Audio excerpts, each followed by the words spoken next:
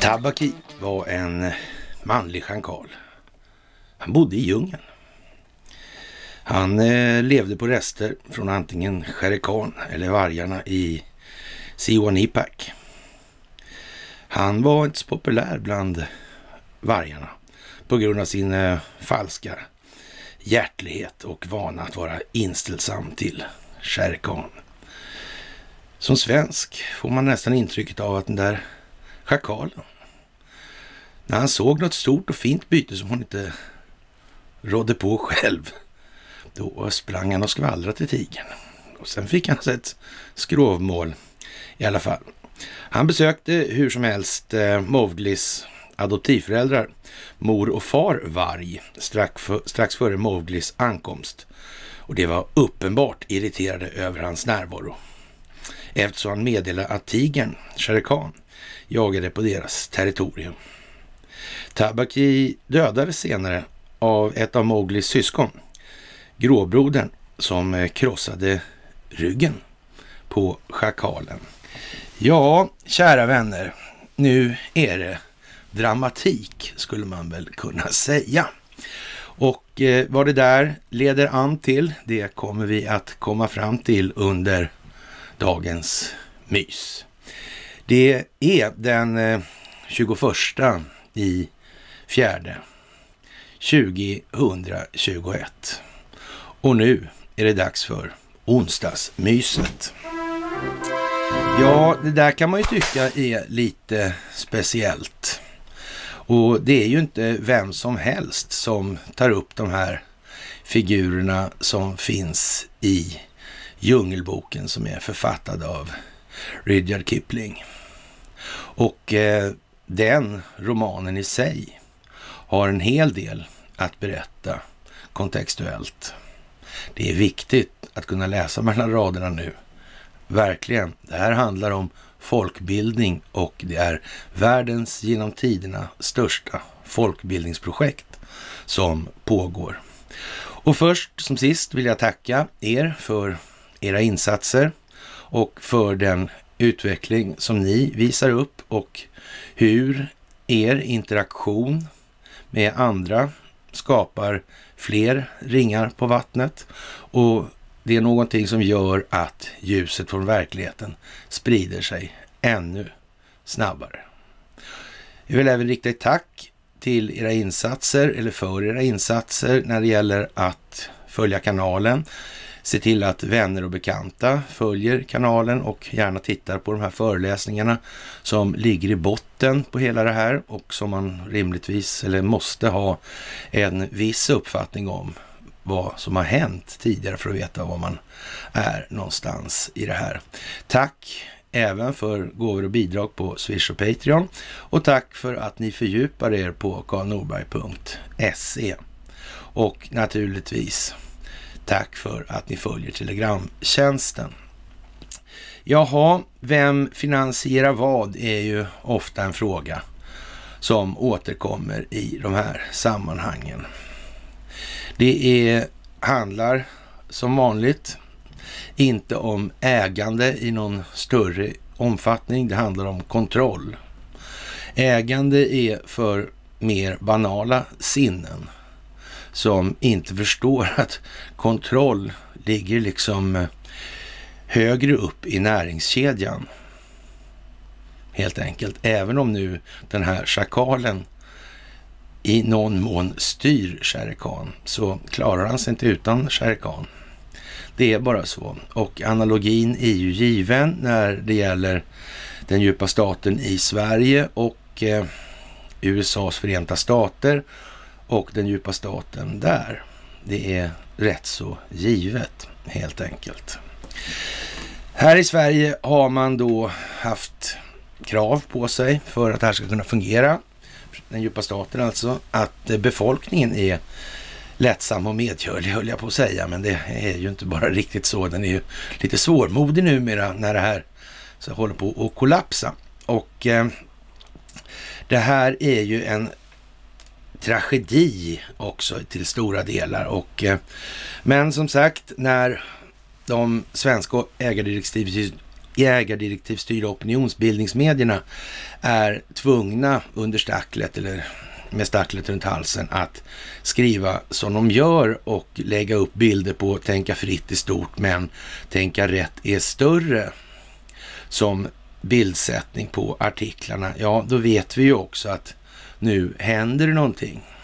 Och eh, ja, vad ska vi säga? Det, vi står väl på kanten skulle man väl lite fint kunna säga i och med att idag så kom ju den här videon med Mike Lindell och valfusket upp ifrån USA och dessutom så har Vladimir Putin hållit ett tal som innehåller en analogi till just Djungelboken och de förhållanden som Ryssland upplever sig utsatta för ifrån omvärlden.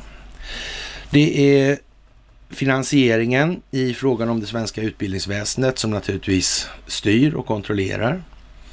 Det är, eller av det svenska utbildningsväsendet och eh, ja, som vi har sagt tidigare nu här då. men politisk korrekthet är väl snällt och fint? Nej, det är det inte, utan det är ett annat ord för anpasslighet och opportunism. Och eh, vi tänker på schakaler här då, då. Just idag efterfrågar politikerna att kurslitteraturen har genusperspektiv. Och eh, ja, det är bara som det är det här nu. Det här kommer att ta den väg det ska och det är alldeles uppenbart nu för allt flera att det här vi har suttit och orerat om i åratal faktiskt håller på att slå in. Det är ju en eh, tragedi kanske i någon mening, men samtidigt så är det ju faktiskt dörren till den framtid som vi alla går till mötes. Så det blir ju vad vi gör det till och eh, de som inte har förstått ännu att det är föga lönt att i ett valfuskklimat ägna sig åt röstning. Man måste nog se till att den processen är åtminstone rimligt beskrivande av verkligheten. Nu kommer det ju naturligtvis att visa sig på alla upptänkliga och inte upptänkliga vis att eh, man kan inte förvänta sig det i de rådande systemen i västvärlden. Helt säkert. Och, eller helt jävla säkert skulle man kunna säga också. Det är länge sedan vi hade någonting som skulle kunna misstänkas för demokrati. Och det var givetvis inte demokrati då heller. Det har aldrig varit det på något sätt, utan det här har ju så att säga bara varit skådespel och sminkad gris alltså. För att människor ska tro att de har någon form av reellt inflytande på sin tillvaro. Det har vi inte haft och ja, nu gäller det väl kanske att vi tar tag i den frågan. Men för att det ska bli någon mening med just den övningen så måste ju så att säga befolkningens inställning till sig själva och verkligheten förändras rätt så dramatiskt. Och det är därför det här folkbildningsprojektet måste ske. Och eh, det har ju gått av stapeln sedan mycket länge. Ja, vi har en rad olika ganska så speciella omständigheter nu och eh, ja, vi har ju tagit upp tidigare att vad gäller då för att man ska få till en förändring i den svenska befolkningen? Ja, ett sätt är ju naturligtvis att slå mot det som är den svenska befolkningens allra största kärlek och skötebarn. Den egna plånboken. Svensk girighet, eller guldgrävarspänst, den går inte av för hacker. Det har sannolikt aldrig funnits ett så egennyttigt folk som den svenska befolkningen och eh, man gömmer sig gärna bakom fanorna och fanborgarna om att man tillhör en humanistisk stormakt och man skänker bort så mycket pengar överallt. Och det är ju fantastiskt att man kan exploatera andra länder så helt utan dåligt samvete. Bara för man skänker pengar dit.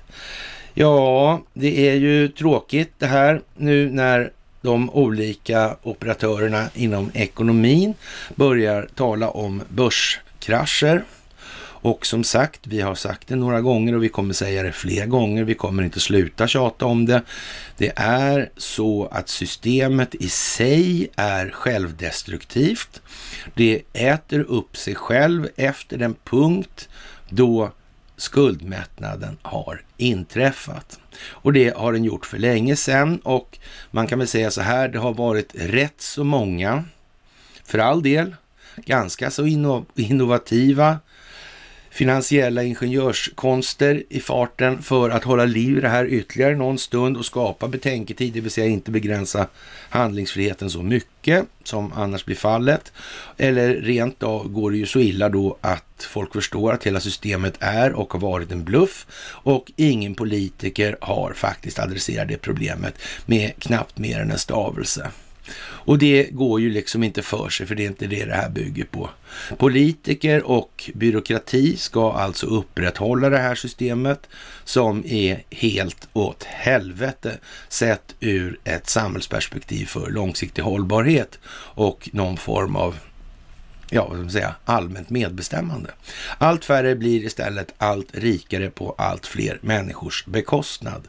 Det är den obestridliga inneboende mekaniska funktionen i systemet. Det är ju tråkigt att konstatera, men det måste nog till nu att folk faktiskt tuggar i sig det här. Hur mycket skit det än smakar. Det går inte att prioritera sig själv och tro att alla andra ska göra någonting annat. Det duger inte längre. Och det är väl inte bara, vad man säga, insinuationer som kommer från omvärlden i den meningen. Det är inte så längre. Det börjar bli ganska så kallt. Det börjar dra ordentligt. Och ja, vi kan väl tänka sig att vårt svenska rättssystem är precis som Robert O'Brien sa någonting mycket anmärkningsvärt. Och eh, det är ju inte så att inte det amerikanska utrikesdepartementet och nationella, för detta nationella säkerhetsrådgivaren är medvet, inte medvetna om det. Det är inte så alltså.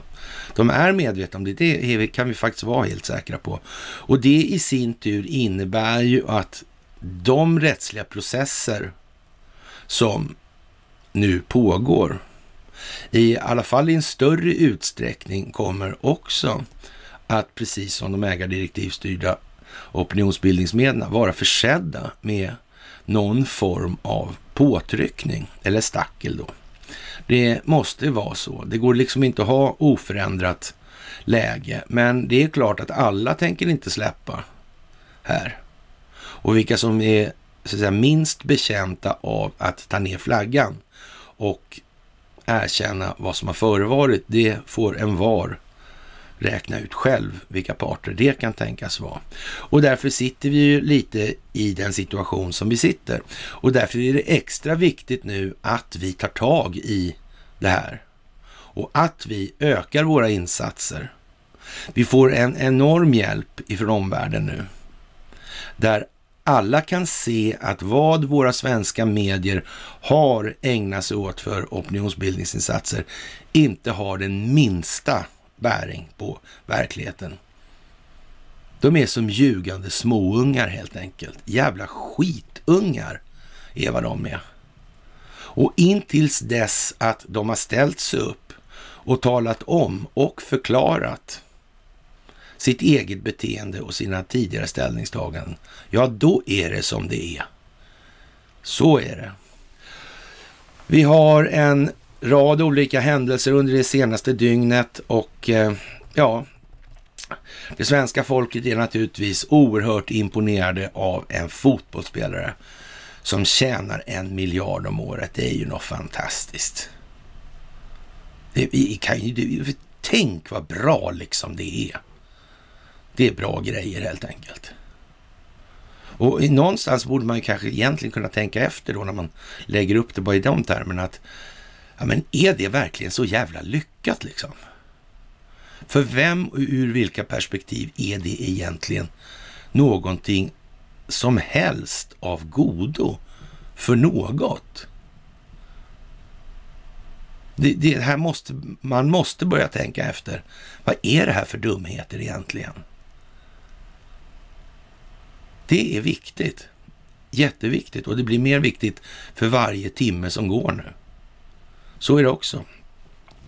Bröd och skådespelsindustrin är ju dock eh, lite sådär halvilla ute.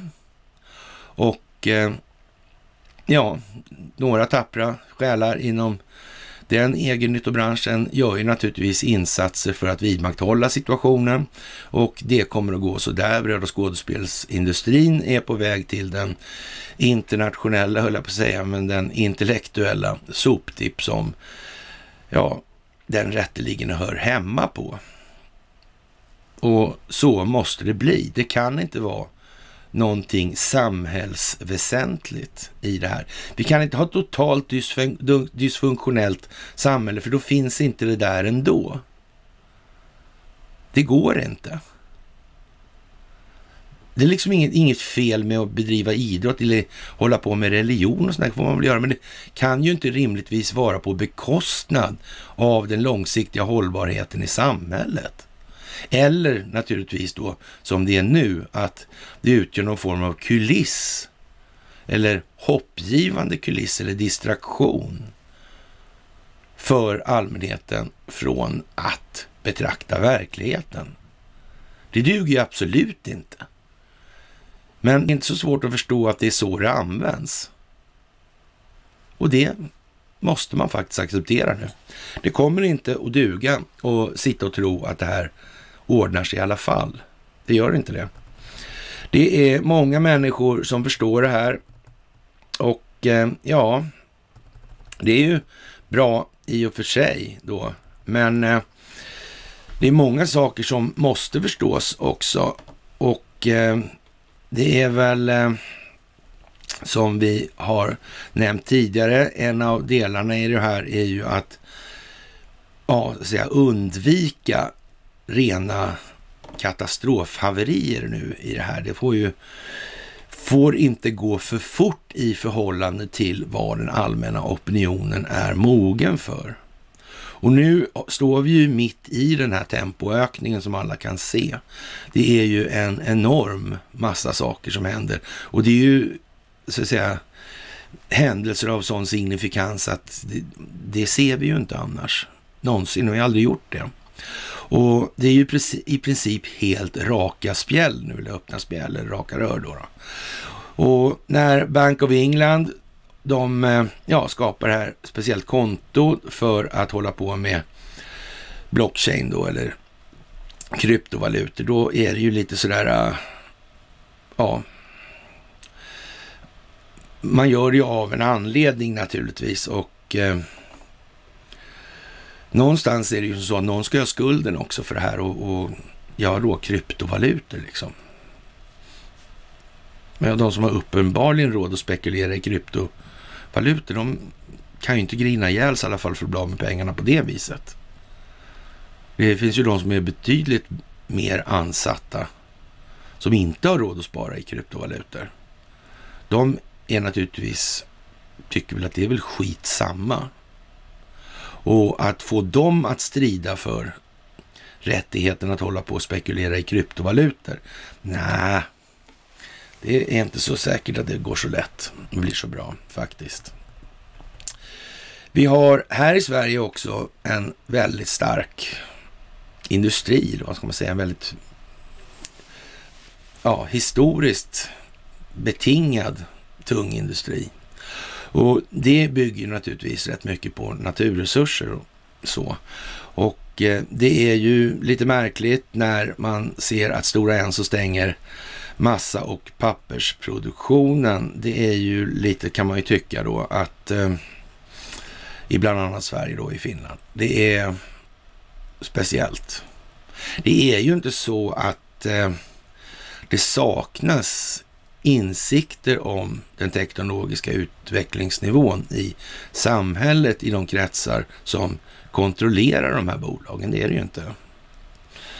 Så det här är ju någonting annat också. Det, det kom ju inte som en överraskning liksom att efterfrågan på tidningspapper gick ner. Såklart inte. Och det ser man ju också på hur situationen utvecklas vid de här olika anläggningarna.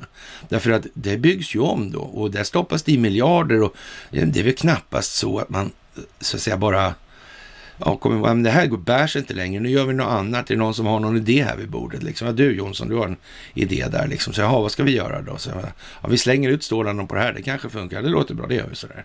Men så är det ju inte. Det här har ju varit planerat hur länge som helst. Så är det också.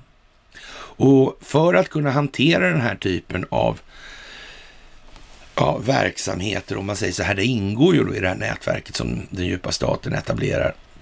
Då måste man ju också ha en planering som i i alla fall kanske inte just ur de perspektiven behöver sträcka sig så särskilt mycket längre, men de, de, här delarna måste finnas med. Det är bara så, för ekonomi är en del av det moderna kriget. Så är det också. Och det innebär ju också att man, man får väl säga så här då, att den större delen av det moderna kriget det är trots allt informationshantering eller kontroll, informationskontroll. Det är ju den största delen där och, och det kan man ju så att säga väga upp då lite grann. Och, så man måste ju ändå, men man måste ändå till delar ha kontroll på de här ekonomiska parametrarna så, som utgör en del av det moderna kriget. Och det här är ju någonting som har fortgått och planerats länge och eh, ja, vi ska väl inte exakt tro att inte Sverige är involverat i den planeringen och sen i vilket mån vi har några deltagare i själva planeringen, det kanske vi ska ligga lite lågt med och uttrycka oss om, för det är naturligtvis rätt så ja, det blir inte så populärt på alla håll om folk håller på med sånt. Det kan vi ju i alla fall utgå ifrån. Då, man ska helst nog befinna sig på en nivå i samhället där man inte kan lida så mycket skada längre. Men det ju, ligger ju i sakens egen natur all den stund som man börjar betyda någonting för den djupa staten och de så att säga, anser att man gör, utgör någon risk i något som helst sammanhang, då, då hör de av sig. Alltså det är helt säkert. Jättesäkert är det så.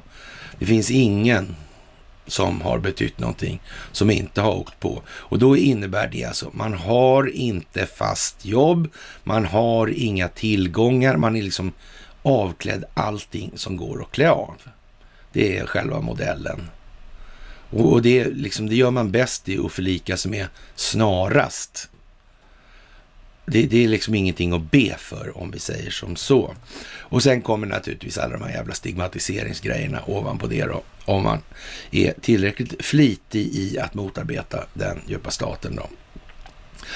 Och eh, det är väl eh, också signifikativt då när Kinas finansövervakare säger då att ja, det är då det statsägda finansinstitutet Huarong har tillräckligt med pengar för att klara sina betalningar, men internationella investerare riskerar stor förlust.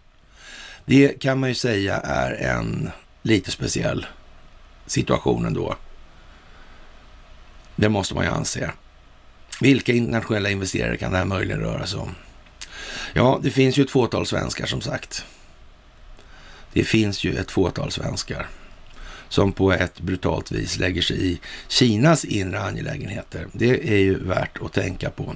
Och eh, vi har en massa turer kring det där och det har vi gått igenom massa gånger och det blir bara snävare och snävare. De här olika perspektiven och sekvenserna ur varje perspektiv, de det här konvergerar nu alltså till en punkt. Och Eh, för att hålla broms på det här då, då, så har då den djupa staten, som förmodligen inte alls har någon kontroll på det här egentligen nu längre.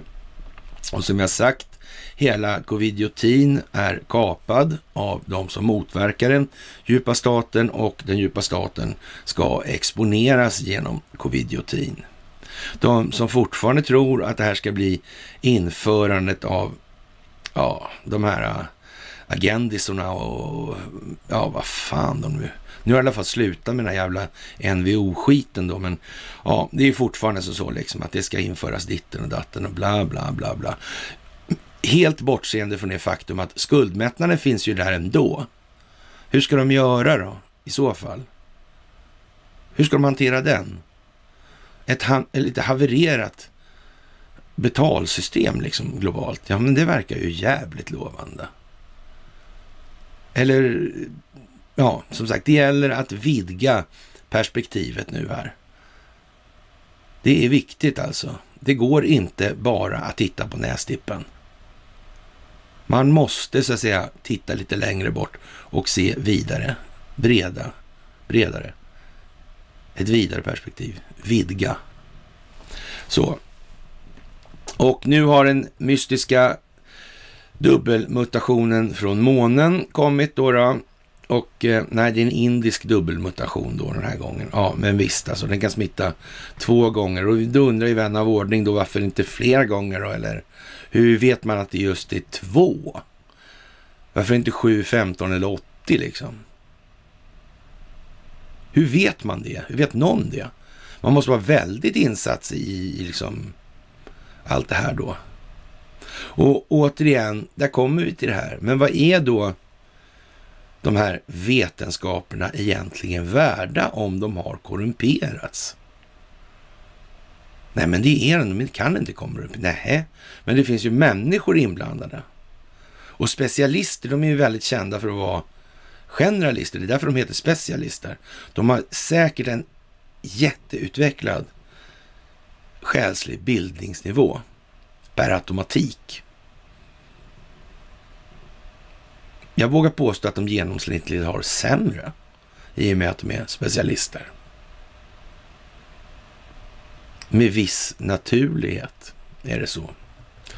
Och eh, vi kan väl säga så här att eh, när de här fantastiska forskarna kommer i lag då och, och, ska börja tänka till. Nu har de kommit fram till då forskarnas krav. Låt alla med fetma gå före i kön. För man har kommit på då att eh, de här som lider av fetma och diabetes är liksom mycket mer utsatta för covidiotin. Alltså man får ju nästan intrycket av folk som har en begränsad förståelse för vikten av sin egen kosthållning tycks ha en tendens att bli sjukare eller mer sjuka. Och det kan man väl tänka sig så här, det kanske man eventuellt kunna räknat ut tidigare ändå då. Kanske. Och eh, den koppling som föreligger mellan livsmedelsindustri och läkemedelsindustri, den är ju liksom obestridlig och den är till och med oundviklig om vinst, enskild vinstmaximering ska verka ledande för de verksamheterna. Och det är också en grej som det måste man ju tänka på. Och det låter ju rätt så trist det här alltihopa faktiskt, men det är viktigt nu här och eh, speciellt då här i Sverige. Då blir det lite mer glädjande när dagens PS skriver då att eh, kryptosektorn ska bli klimatsmart. Och det är ju fantastiskt. Och eh, en klimatsmart finansiell konstruktion, okej? Okay?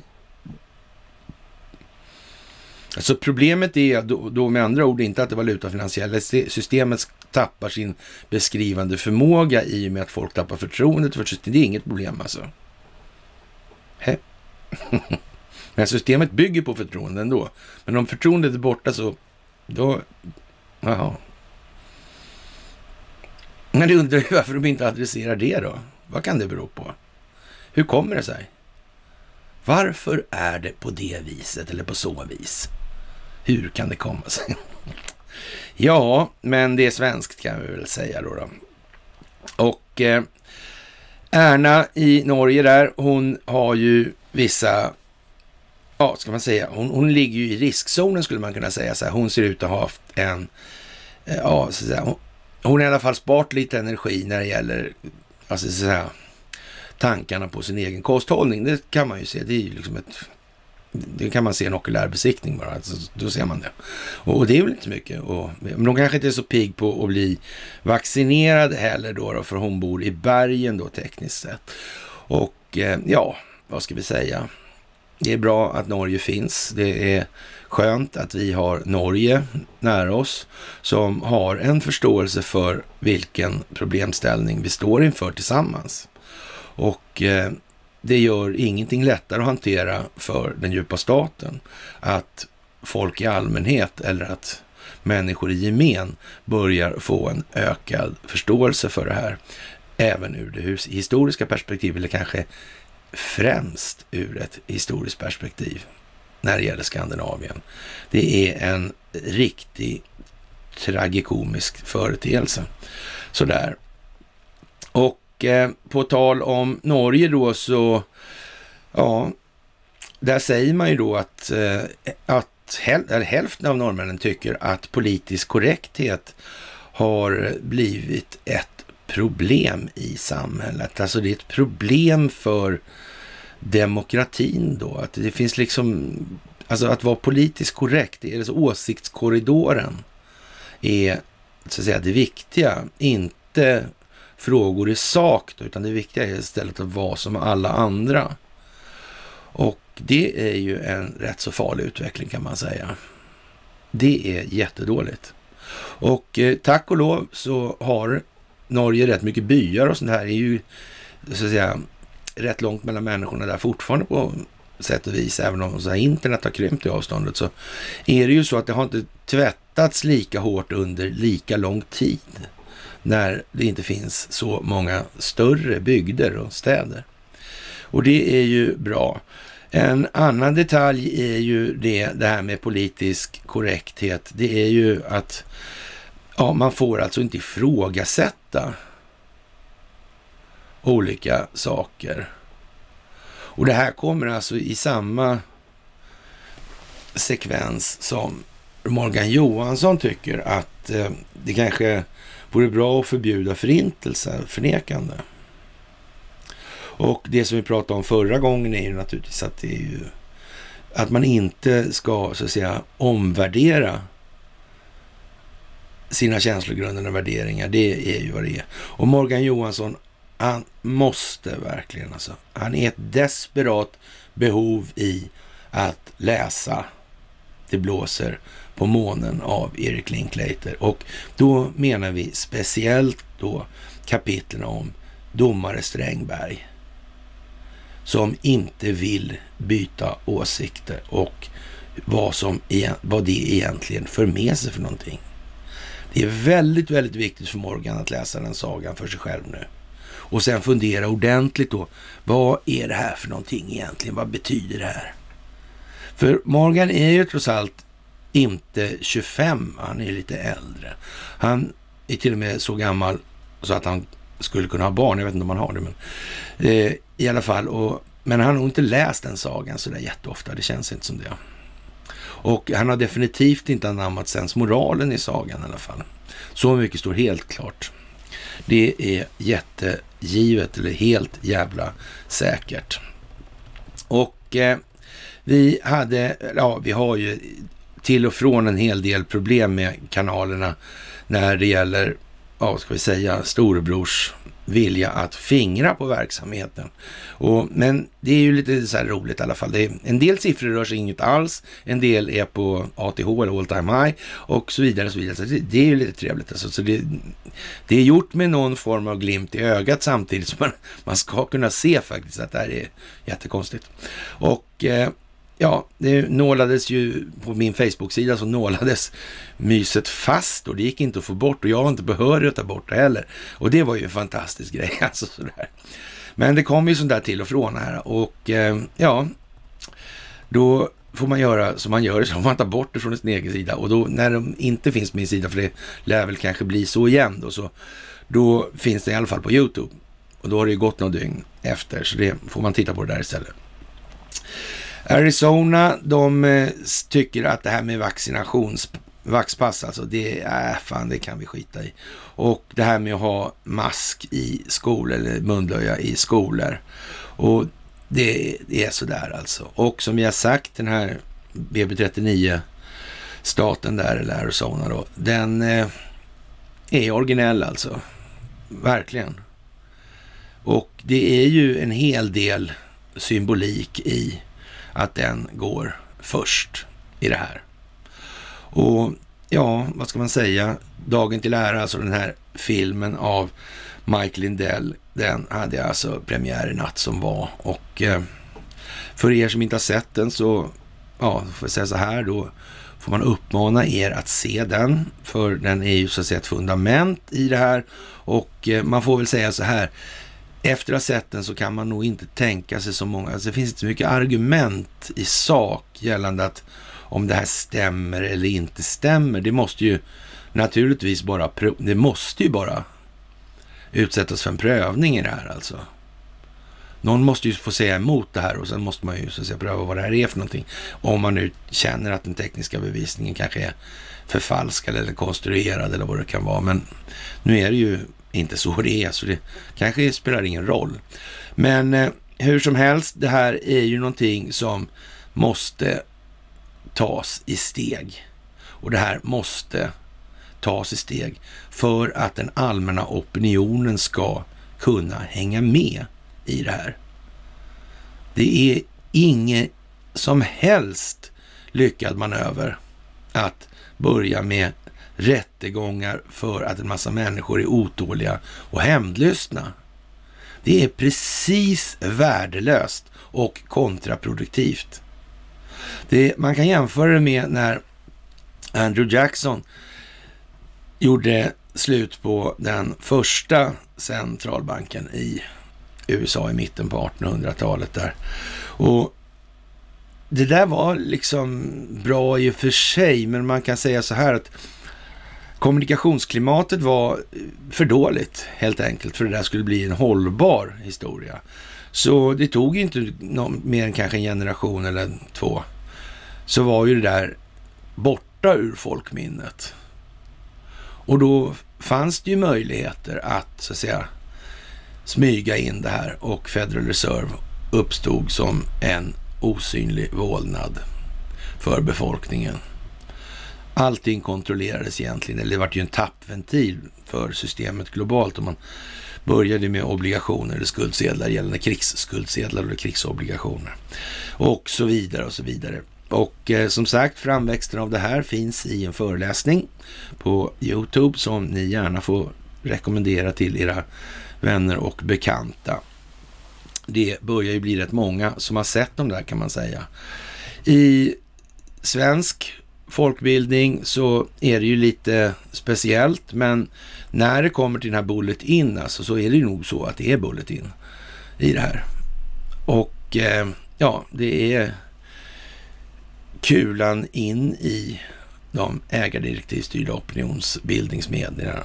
De ska skjutas i sank här i Sverige och när Hanif Bali, Alexander Bard och Jan Emanuel Johansson värvas till Bulletin. Mm. Då får man väl nästan anta att det är med ett syfte. Det måste man väl säga. Det är väl kanske inte på det viset att man det första intryck man får av någon av de här individerna är oj, vilken själslig gigant, vilket djupsinne. Jag menar, det, jag, jag, man kan väl säga så här, det är hart när svårt att hitta tre individer utgörandes exponent för en lynnesart beskrivande filosofisk materialism än de där tre alltså. Det där, alltså Alexander Bard, ytligheten och ja, det är Army of Lovers och det är Handelshögskolan och det är allt det här och så vidare. Eh, ja, Hanif Bali, det är invandrarnas fel och så vidare. Och eh, Jan Emanuel liksom. Ja, ja, men, nej, men visst alltså. Ja, Ja, jag vet inte vad man ska säga. En väljosad byggardräng kunde man väl sagt förr i tiden. Jag vet inte om det är värt ens att kommentera. Men, men i alla fall. Det är dags för Donald Trump att lägga sig i opinionsbildningen på ett mer ja, praktiskt sätt helt enkelt. Och eh, det är naturligtvis beroende på vad som har hänt parallellt. Det är beroende på att Mike Lindell har släppt den här videon i natt och att Vladimir Putin har hållit tal. Och det är ju två så att säga ganska starka opinionsbildningsmässiga händelser i det här och allt handlar om opinionsbildningen. Det har vi sagt några gånger tror jag.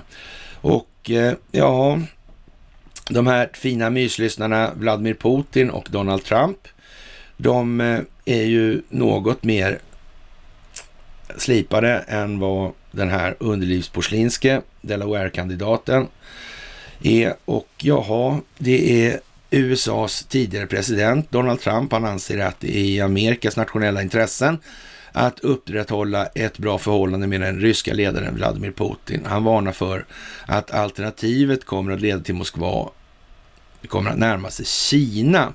Och det är ju naturligtvis sant och det är så det måste bli.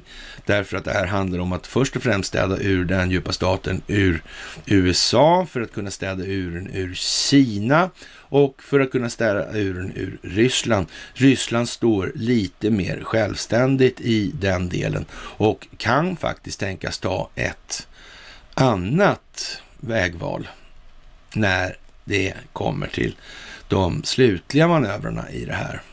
Och eh, det innebär i och för sig samma sak ändå, då, men i praktiken, men metoden är lite, kan vara lite annorlunda. Och eh, uppriktigt sagt, säger Donald Trump, så är det bra att komma överens med Vladimir Putin och jag kom mycket bra överens med honom.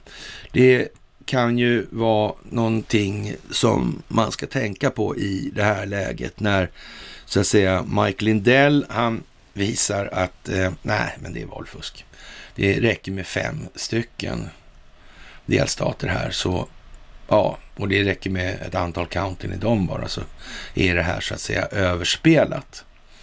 Och eh, då finns det väl en viss risk kanske för då att, eller chans beroende på hur man ser det, att det blir någon form av förändringar när man konstaterar att den amerikanska regeringen och presidenten sitter där på orättmätig grund. Då kan det ju vara bra att tänka på att eh, ja, man ska kanske tänka på hur man förhåller sig till Ryssland. Och Sverige förtänker ju för all del, eller så att säga garnityret här, det ja, politiska garnityret här, de tänker ju mycket på det. Alltså det är ju ryssarnas fel och det är ryssarnas ditten och det är ryssarnas datten och så vidare. Det är ingenting som har passerat Kreml obemärkt. Det har inte gått under radarn på minsta vis. Man vet om det här. Och att man i de här länderna då, Kina, Ryssland och USA, laddar på med mer Ericsson-samarbete. Det är inte så att man missar vad det här är för någonting. Det är helt, helt säkert. Och det är i princip helt öppet att man inte har gjort det nu. Och vad kan möjligen komma att hända? Men det kommer en liten detalj senare idag här som är lite intressant faktiskt, som eh, många kanske har missat. Och eh, det ska man faktiskt tänka på att ja, Börje må ju ha sagt att han är nere i brygga, men eh, han tillträdde faktiskt den 16 januari 2017. Mm. Och som jag sagt så många gånger nu. Donald Trump, han klev inte på det här med mindre än att ha en färdig strategisk planläggning för att kunna hantera den innevarande situationen och föra utvecklingen i den riktning han önskade. Mm. Ja, det är 100% säkert att det är så. Han gick inte in i det här på chans alltså. Däremot kan man säga så här att det behöver inte nödvändigtvis ha gått som han har velat, därför det har inte funnits någon möjlighet att ha koll på precis allting. Men han måste i alla fall ha kunnat ha så mycket kontroll över den kommande utvecklingen. Att han klarade av att leda den i mål. Dit han strävade alltså. Och det har ju varit då fyra års manerskrattning som vi har sagt ett gäng gånger nu här. Och det är ju lite det som folk inte har riktigt viljan att acceptera. Och för all del, det tar ju emot på alla håll och kanter. Det är ju som sagt, vår frustration är väl kanske lite den, av den naturen mer att varenda jävla sten man lyfter på över hela jordklotet, vad fan hittar man liksom? Var är svensk jävel? Nej men är han här va? Nej men det var väl oväntat nu igen alltså. Vad konstigt. Men man får, kan väl säga så här också, det är också en jävla konstig situation när man säger världens hårda kommunistdiktaturer. Alltså, uff, vilka jävla förtryckare liksom. Men hur i helvete kommer det sig i så fall? Det är allt från Hugo Chavez till jag vet inte vad alltså.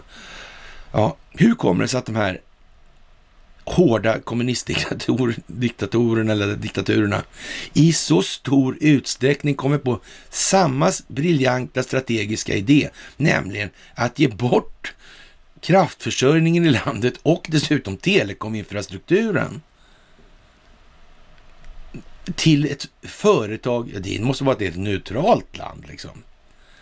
Det måste ju vara det alltså. Det kan inte vara något annat eller? Absolut inte. Sen att de som startade kommunistverksamheten i Indien till exempel hette Palme, det spelar fan ingen roll liksom. Nej, nej, nej, nej, nej, nej, det har ingen betydelse. Och så vidare och så vidare i all oändlighet här. Ja, det är tur att det inte är koordinerat alltså, för det kunde ju bli oerhört mycket värre för de berörda företagen då. Om det är så att det här är koordinerat av till exempel Xi Jinping, Vladimir Putin och Donald Trump. Att den här planeringen faktiskt har förelegat, att man faktiskt har tänkt på de här sakerna. Man har spelat det här hela vägen.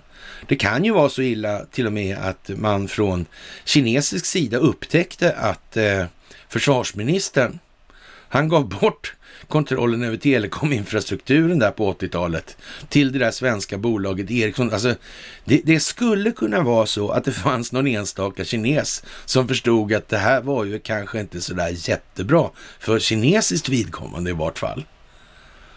Det kan man ju tänka sig, det fanns någon enstaka. Mm.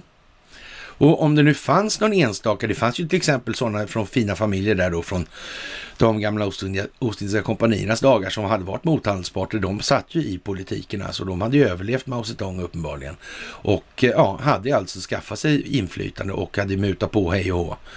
Och ja, vad ska man säga? Några av de här människorna i Kina måste ju faktiskt ha upptäckt det här.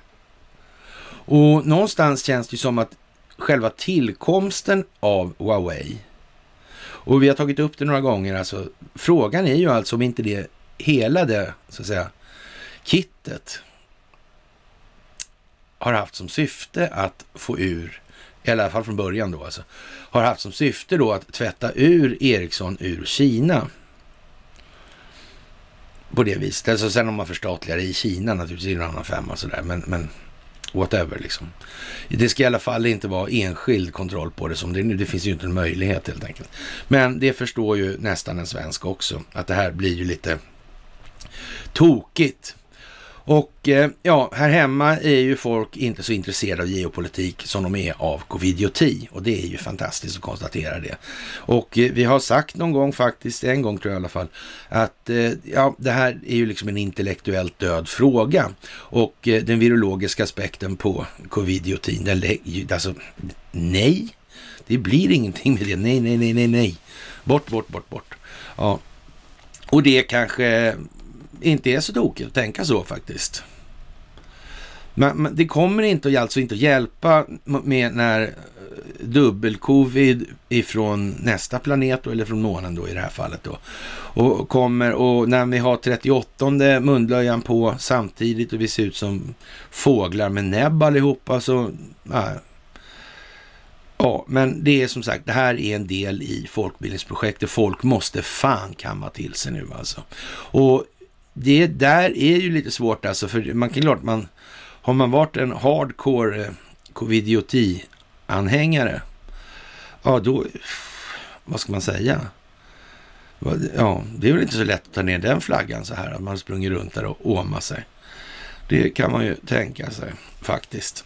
Men det finns ju faktiskt värre grejer också som kommer nu, så det kan man väl se som det ena eller andra. Det händer grejer ekonomiskt naturligtvis. En av de, så att säga, käpphästarna vi har tjatat om, det är hur när den kanadensiska ekonomin havererar. Varför spelar det någon roll överhuvudtaget? Då? Jo, det spelar en roll därför att i Kanada har man ett sådant system som man, det har man på flera ställen. Dock inte i Sverige ska man säga. Det är så långt ifrån Sverige som det går. Och eh, man kan, i, i någon mån kan man säga så här, Certify Vice och hur de psykosociala förhållanden ser ut i de länderna. Så alltså det är de gamla kolonierna, det är Nya Zeeland, Australien, Kanada, England och USA då, som ingår i Five Eyes. Det är en underrättelsetjänstgemenskapen. Det är som sagt informationsflödeskontroll alltså. Mm. Och därför är de liksom, ja, on speaking terms då, om vi säger. Eh, det är ju så då för i, i kanadensiskt i det kanadensiska fallet att där har man ju så att man har lånat till hus till exempel och sen så, ja, där har man inte råd att bo kvar eller har ingen lust att bo kvar till och med. Sådär. Och banken har fastigheten som säkerhet och som vanligt, men inte äger ju inte husen de heller. Men jag äger och hur man äger ett hus, det är otroligt svårt att förklara sådär. Det är ingen riktigt som har lyckats med det än i världen. Så. Men i alla fall, det, man, man, kan ju ha kontroll eller inte kontroll i alla fall. Det är så att i Kanada då, då kan man ju bara gå till banken och lägga nycklarna på disken och stacka för sig liksom. Och säga nej, nej, nej, det får vara liksom. Då står banken där med ett hus och ja, med vad det innebär och så vidare.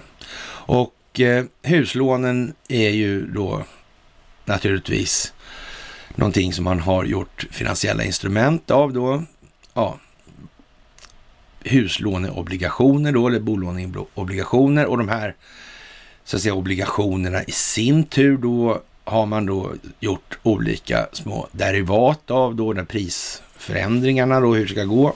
Och de här, det här har växt till otroligt och en icke obetydlig mängd av de här derivaten på den kanadensiska bolånemarknaden. De finns i Deutsche Bank. Fantastiskt.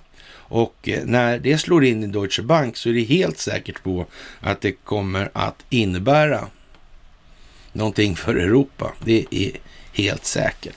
Vi får se om det här blir eller om man klarar av att innesluta det här på något vis. Det verkar svårt att se med avseende på omfattningen i det här. Det är, ja, det är som det är nu helt enkelt.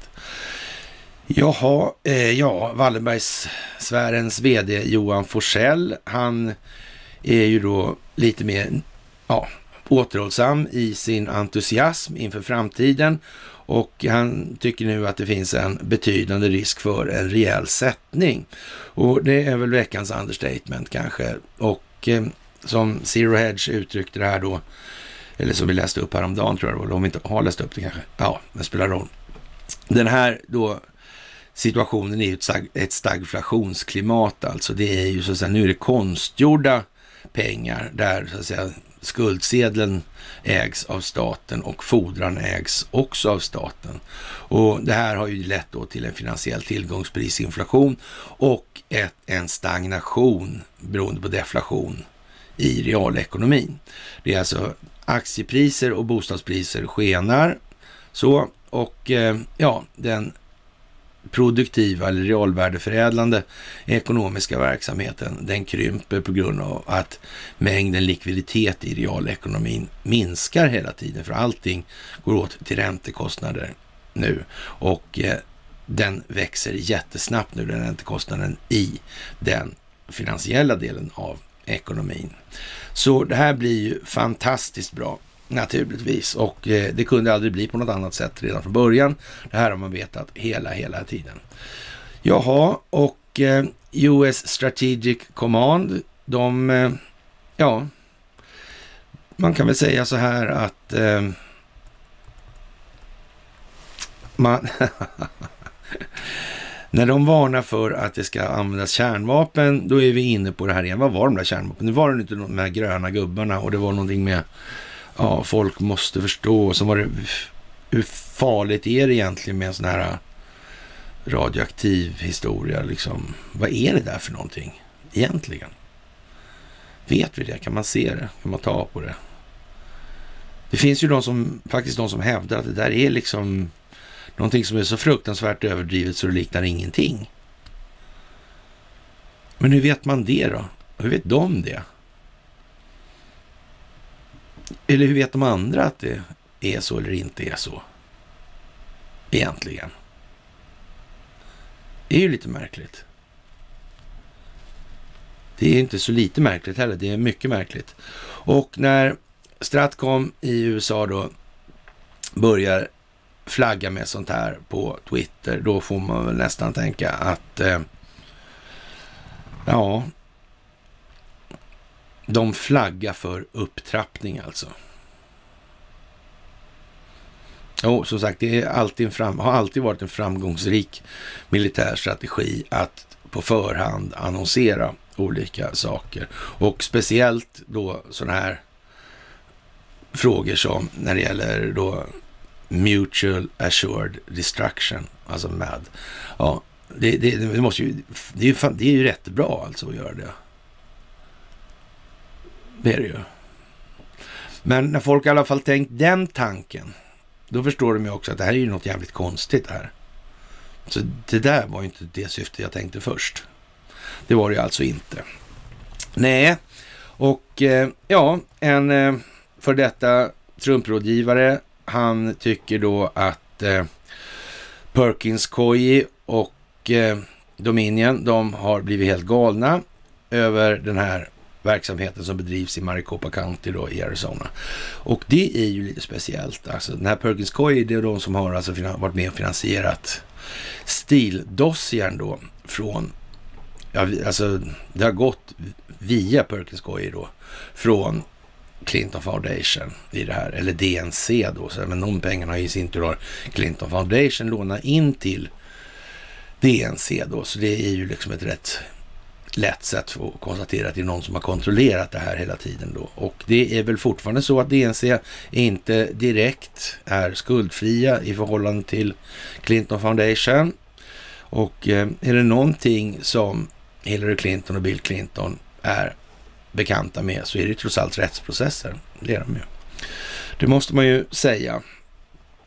Och ja, de här kommunistdiktaturerna är ju vad de är och att de alltid ska kunna lägga sig i då massa saker. Och det här amerikanska valet är ju liksom ett praktexempel man radar upp då. Vad olika länder som har lagt sig i. Och visst, det är Carl Bildt och eh, Balkan är ju kanske inte sådana kommunistdiktaturer riktigt, men de är i alla fall där med Dominion då kan vi säga så här. Och Dominion och Perkins Coie då är ju en lustig kombination som blir upprörda över att man vill ha räfst och rättarting angående valet i Maricopa County. Det kan man ju tycka att... Men, men det är ju som sagt, problemet är ju, det har, har det varit då ja, internationella interferenser i valprocesserna på ett ställe så här, då måste man ju faktiskt säkerställa att det, det är ju bra om det inte har varit det på fler. Alltså på enda sättet att ta reda på det är det och titta efter då. då. Och eh, nu är det väl så kan man säga att då, man har ju haft det här på förhand under uppsyn. Och det har man ju haft med det syfte att man ska tvätta ur den djupa staten. Men det låter sig inte göra så på en gång bara. Utan det, det, då har man ju istället då en halv befolkning i USA full med dårar som tycker att det här är något jävla skit som han har hittat på, Donald Trump. Han får ju alltså under inga omständigheter finnas med i de här ekvationerna så länge de här processerna pågår. Det här måste ju så att säga lösas Donald Trump förutan. Och det, det, är ju liksom rätt så centralt i det här, för då, annars har man ju en halva av befolkningen som ja, svårligen kan så att säga bete sig civiliserat oavsett det här eller inte. Och det, det kan man väl se då på det här, eh, här Floyd-målet eller caset då som gick nu. Och det är ju lite så alltså. Den här så att säga känslostyrda, den här folkmassan i affekt då, den, den springer ju bara. Så, någon pekar och sen drar det på liksom och det går inte att kontrollera det här så med sån precision liksom. Alltså det bygger ju på att hålla folk känslostyrda och då är det inte liksom läge att... Går det där snett så går det snett helt enkelt. Och det där måste man ju helst försöka undvika då. Och nu är det väl i det fallet, det här Floyd-fallet, då, då är det väl ganska klart att ja, Maxine Waters till exempel, hon har väl kanske, ja hon har nog rätt vasst stackel på sig, det är väl inga, ingen vågad gissning. Och de kommer ju att ställas till ansvar för de här uppviglingsfasonerna eller vad vi ska kalla det för, som de har ägnat sig åt. Det är ingen diskussion om den saken heller. Och hur som helst, de här hemska kommunistdiktaturerna, de är ju så jävla pigga på att ge bort de här vitala infrastrukturella funktionerna, så det är ju närmast skrattretande. Frågan är ju alltså om det överhuvudtaget är någon som inte har tillhandahållit de funktionerna till, till Investor överhuvudtaget på planeten. Det är ju märkligt det där. Och eh, Donald Trump, han sa ju faktiskt att eh, han kommer så bra överens med den som styr, styr Nordkorea. Ja. Det var där va, det, där, det är det Nordkorea där Sverige hade en skyddsambassad va, för USA och lite sådana här Five Eyes. Det är det, det är det Nordkorea de snackar om då. Ja, ja, det är ju intressant kanske att tänka på då, möjligen. Greta är ju naturligtvis en fantastiskt ung flicka. Och eh, ja, det är ju nu när utrotningen av olika arter då kommer på tapeten så ja, då är ju det någonting som, eller ja, det säga, skövlingen av träd och skövlingen av skogar och, och så vidare, så är ju det någonting som får djuren att bli mer av smittobärare enligt Gretas förmenande. Som tur är när det gäller de här frågorna så ska faktiskt Greta på ett vittnesförhör. Hon ska vara vittna inför den amerikanska kongressen och det var precis som vi beskrev häromdagen då att ja, men det ju, finns ju liksom en god möjlighet att det finns republikaner i kongressen som också kan tänka sig att ställa frågor och det räcker ju som sagt med att ta upp den här då frågan. Vem eller vilka finansiella intressen egentligen ligger bakom miljörörelsen i sin förlängning. Och det är ju alltid i sin förlängning i grund och botten det här. Det handlar ju om det alltså. Att verka utan att synas. Och, och de som är lättast att hitta är ju naturligtvis inte de som, och det är därför amerikaner hittar ofta Rockefeller och Rothschild i de här sammanhangen. Och eh, när det gäller ja, Rockefeller Foundation till exempel så är det ju, har ju funnits en del intressanta ordföranden där genom tiderna. Så, och eh, ja, man ska inte glömma bort det faktiskt. Vi har att eh, ta till vår eviga korruption här i landet. Den måste vi ta tag i helt enkelt. Och där är det ju faktiskt fantastiskt numera att eh, vi, vi körde, körde en reminder här i morse då om det här att eh, Sveriges rankas som det minst, femte minst korrumperade landet i världen enligt Transparency Internationals årliga korruptionsindex när det gäller då statsförvaltningen. Och det är ju lite sådär speciellt. Men någonstans är det så här också att det kanske är svårt för myndigheter att eh, korrumpera utomlands. Men man kan säga så här att om myndigheter är beredvilligt deltagande till att svenska företag korrumperar utomlands, då är det ju liksom lite samma sak. Det är bara ett lager längre ner. Och för att det ska vara möjligt måste man ha stöd av ett rättssystem. Det är ju så. Och där kan man väl tänka sig att eh, det handlar om det svenska rättssystemet enligt Robert O'Brien av just den anledningen. Den ska vi inte förkasta. Helt säkert inte. Det är samtidigt som vi då inte har så mycket korrumperade myndigheter då, eller ja, så. Jag vet, jag vet inte exakt om Transparency International är jättekorrumperat själva eller bara ganska korrumperat, men hur man kommer fram till det i alla fall. Det är ju väldigt konstigt helt enkelt i Stockholms byråkratiska Sverige. Ja, men eh, samtidigt gick Sverige ut då, genom att toppa listan över bolag som bötfälls för korrupta affärer då, då och det är ju då Fisheye och Ericsson och de här då, då som har hållit på.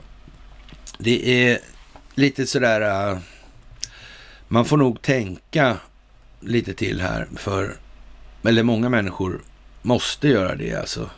De har ju mutat sig fram obehindrat. Du får ju liksom inte tele telekominfrastrukturen i 184 länder. Ja, det är klart man får, kan få den lättare då om man är så att säga kompis med den som bedriver kolonialvälde där och det var ju på ett tidigt stadium så begrep man sig på det. Men det, det hade man ju så att säga med sig i bagaget utifrån det att man själv hade hållit på inom ramen för de Ostindiska kompanierna och det här. Och, och sen påpassligt då komma med den här telekominfrastrukturen. Och, och den, där såg ju liksom inte särskilt många, inga Rothschilds och inga sådana här, de såg ju liksom aldrig när det small. Den smällen bet ordentligt, helt säkert.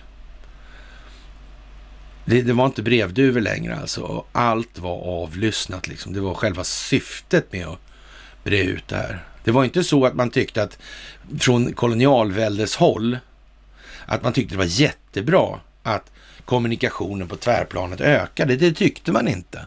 Man kan tro att man tyckte det, men det gjorde man inte. Alltså som kolonialväldes operatör, då ville man ha kontroll, det är helt säkert. Ja. Och då är den här eller horisontalplanskommunikationen, den är inget bra. För då kan folk sätta ihop sig själva i kluster och sådär. Det, alltså kommunikationen ska vara vertik eller kommunikationsflödet eller informationsflödet ska vara vertikalt helst. Man ska kunna säga att du ska tycka och du ska tycka och du ska tycka eller kanske möjligen ni ska tycka. Så. Ja. Och varför, varför kommer någon ens på idén att ja, men vi etablerar telefoner där? Och främsta syftet med det är inte att kontrollera befolkningen. Nej, det är att folk, befolkningen ska kunna gadda ihop sig mot den styrande delen som telefonoperatören har fått uppdraget av. Jaha. Men det var ju speciellt. Man kan ju säga så här, det var inte så svårt att göra sig av med ja, den kolonialväldes dominanten. Den, den, den, kan man ju säga så här, det kan ju telefonoperatörerna ha gjort ganska enkelt. Om man vill se det så. Och annars fall kan man ju tala om att man kunde det, så kunde inte de göra någonting åt den saken. Och man kunde ha förberett det också. Så det fanns ju aldrig någon möjlighet till någonting annat i det här. Det var liksom helt givet hur det skulle bli all den stund de släppte in någon som hade kontroll på informationsflödena. Det var, var ju helt kört på sekunden. Det visade sig inte på sekunden, så dumma var de ju inte. Nej. De förstod ju vad de gjorde eh, och varför de gjorde det. Så det gjorde de inte på sekunden. Och sen blev det som det blev och det blev inte så av en slump och nu står vi där vi är idag. Det är ju inte sådär, eh, ja, skitknepigt det här egentligen. Jaha, EUs nya lagbomb, ett nytt GDPR för artificiell intelligens. Det är ju lite speciellt också. Så har man ställt dit någon människa i bildsättningen som, ja, det har väl ett, har väl ett lite speciellt utseende kan vi säga. Och det säger någonting också i de här sammanhangen och det är det digital det här då. Så ja, visst. Eh, vi tänker väl först och främst på det här Pompeos memorandum om ett rent internet. Faktiskt. Det här måste bromsas på ett sätt som också är opinionsbildningsmässigt smältbart för den breda massan i det här. Det är bra att komma ihåg den saken just nu. Det är många som tycker mycket och det är faktiskt jävla bra nu här att ni vågar tycka till, ni vågar uttrycka ni vågar leta, ni vågar dra slutsatser, ni vågar dela mer av era slutsatser och så vidare. Det är fantastiskt. Det är precis det vi behöver nu och speciellt i det här landet. Och vi har ju den fördelen att vi vet ungefär var målsnöret går. De andra är fortfarande på någon, bred, någon form av bredare raksträcka som de uppfattar som upplopp. Ja, vi ser ju i alla fall var de ska någonstans, det är alldeles säkert. Och eh, det kommer vi strax fram till. Jaha, det är ju en speciell historia det här med Michael Lindells klarlägganden av det här med absolut proof, alltså absoluta bevis.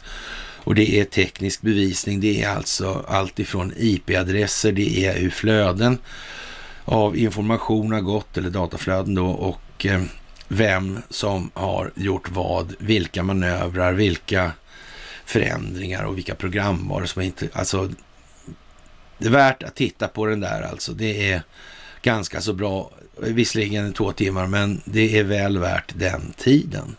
Och för att inte säga att det är viktigt att förstå att det här kommer att ta en annan väg nu. Och det finns inte så mycket att be för. Det kommer inte att bli på det vis som allt för många svenskar fortfarande tror att det ska bli här. Ja, som sagt, ingen svensk kan missa var julhuset sitter nu när det rullar allt snabbare dit som det lutar. Det är ju så. Och eh, SVTs ekonomiexpert tror utvecklingen kommer fortsätta neråt. Det är ju eh, speciellt då med avseende på de här pappersmassafabrikerna till exempel. Och eh, som sagt, det kunde alltså inte de här globalisterna räkna ut då som stod bakom den här utvecklingen. Ja, de ägde ju både trävaruföretagen och pappersföretagen och teknologiföretagen som leder utvecklingen, men de kunde inte räkna ut det. Nej, men det kan ha varit så. Det kan det ju ha varit. Ja, de skulle inte vara så taskiga liksom och bara hålla på. Det tror inte jag alltså. Nej. Eh. Ja, och vidare då. Det är ju som det är. Ja, det blir ju bara bättre framåt natten och amerikanerna gör då en liten, eller väcker lite stämningstalan då mot Danske Bank. Och eh, ja, det är synd om Christer Gardell då som sitter med ett antal aktier i Danske Bank då. Det är Maersk då som håller i huvudtrådarna där, i alla fall utåt sett och jag faktiskt tror att det är det. Men sen är det ju å andra sidan så att han sitter inom ramen för BIS i alla fall, så det är inte exakt så han har sådär jävla mycket att välja på. Dessutom har han ingen kontroll på sina egna telefoner. Men och så vidare så. Men i alla fall ser det, det får se ut så i alla fall. Det är ju alltid något kanske. Men hur som helst så, det här är ju en härva som kommer att växa ännu mer. Så är det också. Möjligen har man då från Xi Jinping och Donald Trump och Vladimir Putins sida tänkt sig att försöka begränsa det där lite grann. Men det kommer inte fungera i så fall. Det kommer inte fungera. De har i så fall missbedömt informationsrörligheten på horisontalplanet. Det kommer aldrig att fungera och därför är det också så här att vi svenskar, den svenska befolkningen, vi har definitivt inte råd med att bara tro att det här ordnar sig med hjälp utifrån. Nej, det kommer inte att bli så. Det kommer inte att bli så. Men däremot så kan man ju, mot det kan man säga så här att det är inte särskilt roligt att de vill ha kärnan intakt. Det är ju så. Men, men å andra sidan så vet ju de aldrig riktigt säkert hur mycket kärnan instigerar för att vidmakthålla situationen fortsättningsvis. Det kan de aldrig helt säkert veta heller. Så ja, visst, det ena eller det andra. Men vi ska inte chansa, det är helt säkert. För om inte annat så är det så att om vi inte gör annorlunda än vad den amerikanska befolkningen gjorde efter Andrew Jackson, då har vi det här skiten här igen inom en inte alltför avlägsen framtid. Så. Och det måste vi förstå. Det här måste vara liksom allmängods. Och det är en bra grej att, att tänka på också. En eh, annan grej som är bra att tänka på, det är ju det här att i början när man höll på med det här, eller jag höll på med det här i vart fall, då var det ju så här att då kunde man knappt, man fick göra ett klipp då på Facebook och sådär. Det fick vara 30 sekunder långt ungefär, för sen var det ingen som orkade titta längre. Så är det. Men spanntiderna då, då på det här, de är ju faktiskt inte så svåra att få växa. Det är det ju inte. Inte med det inte sagt att jag ska sitta med, och hålla på i tre timmar idag, för det ska jag faktiskt inte göra. Det ska bli ganska kort här idag. Men, men man får tänka på det också. Lite grann i det här som ni själva märker av då när ni pratar med vänner och bekanta eller då i er omgivning som kanske inte är så där helt med i matchen. Så det är trots allt så att det, det, det här nötandet man håller på med, det, det kanske inte så säga, har någon direkt effekt sådär som man ser, men det som det ändå har som effekt, det är ju att det här koncentrationsspannet, det växer när det gäller de här typerna av frågor. De, de slår inte ifrån sig direkt så här bara. Om de inte är trötta och så naturligtvis. Och då, då, då försöker de komma, om de inte orkar anstränga sig. Men, men principiellt så är det så att man ökar den förmågan genom att öva den.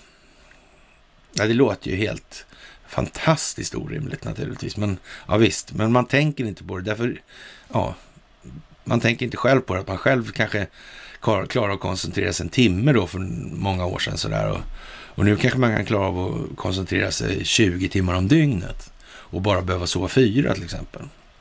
Det, så kan det vara också.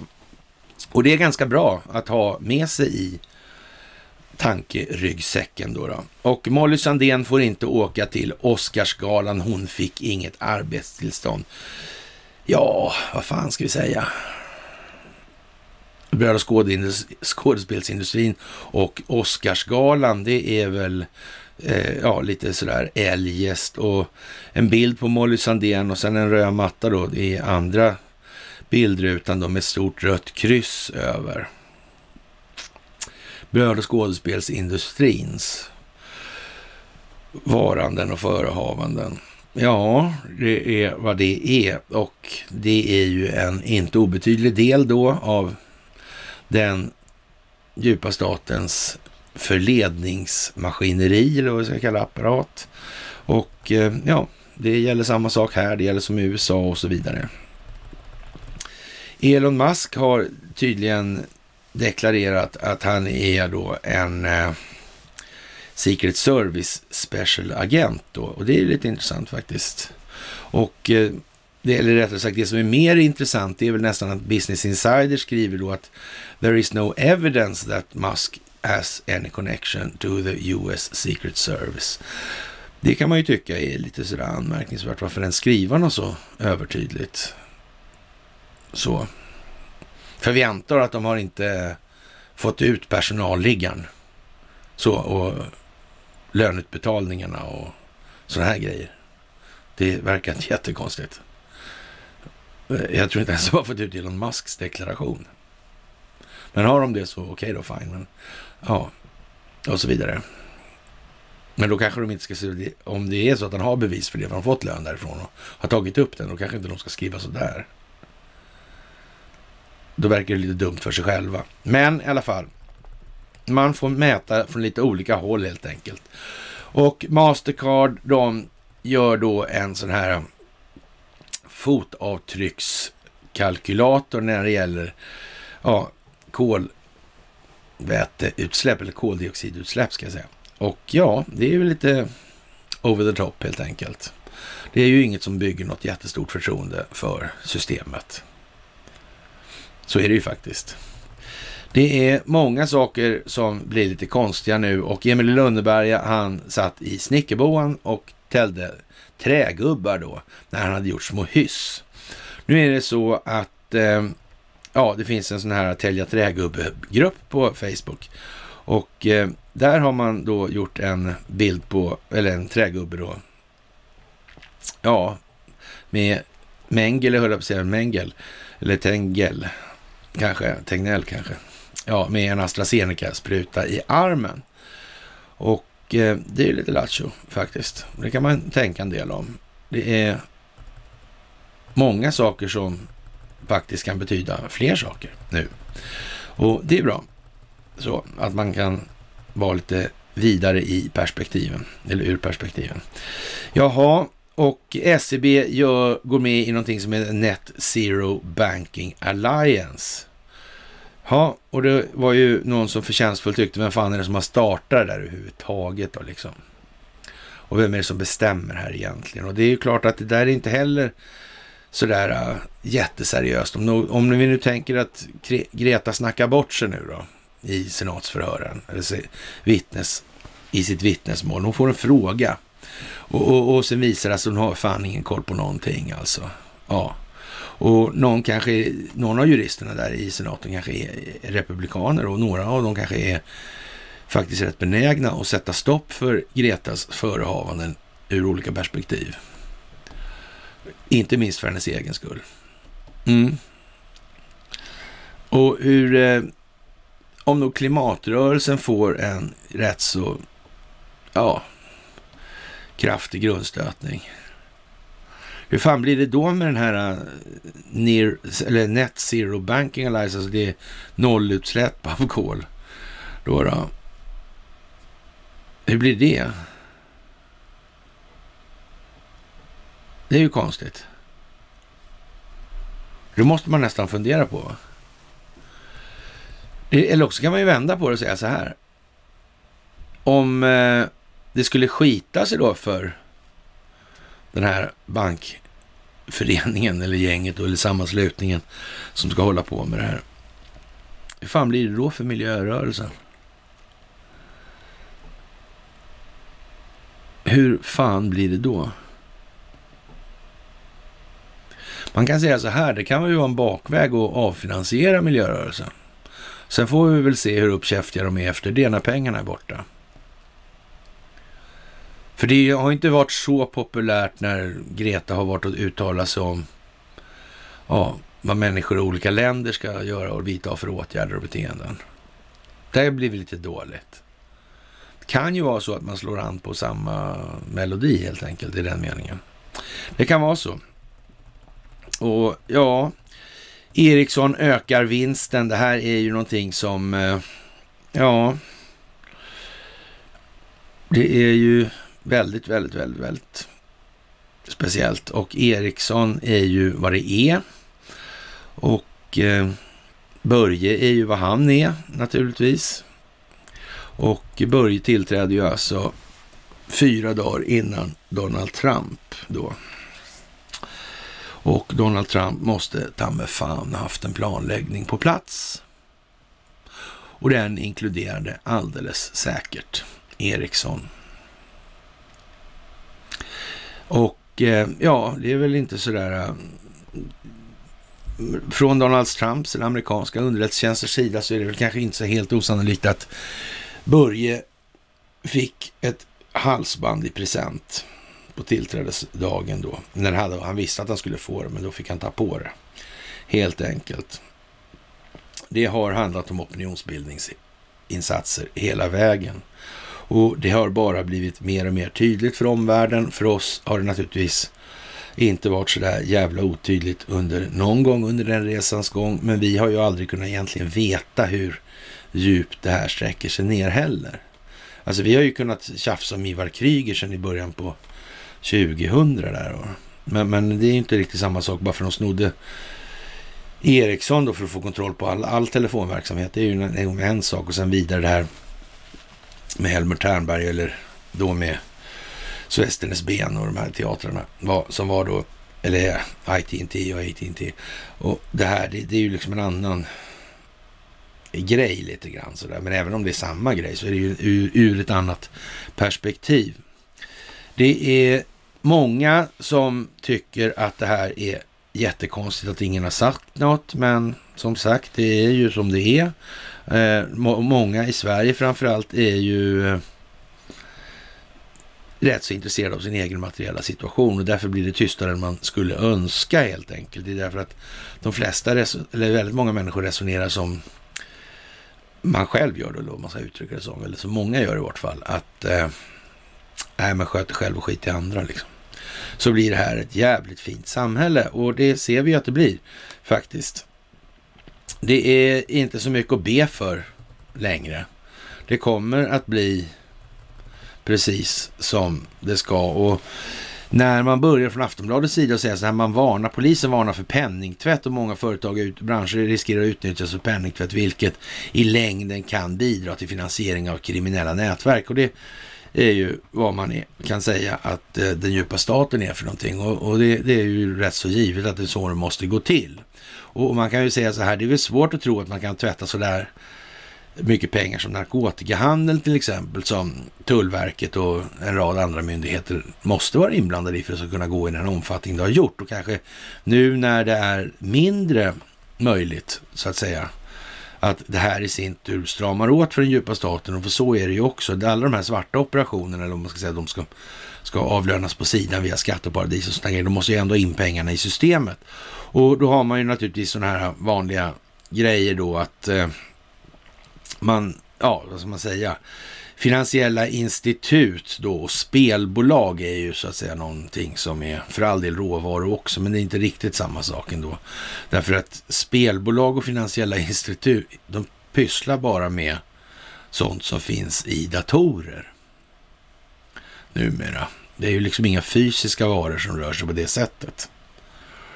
Det är ju liksom lite, och det gör ju att volymerna kan ju faktiskt bli rätt stora utan att det märks helt enkelt.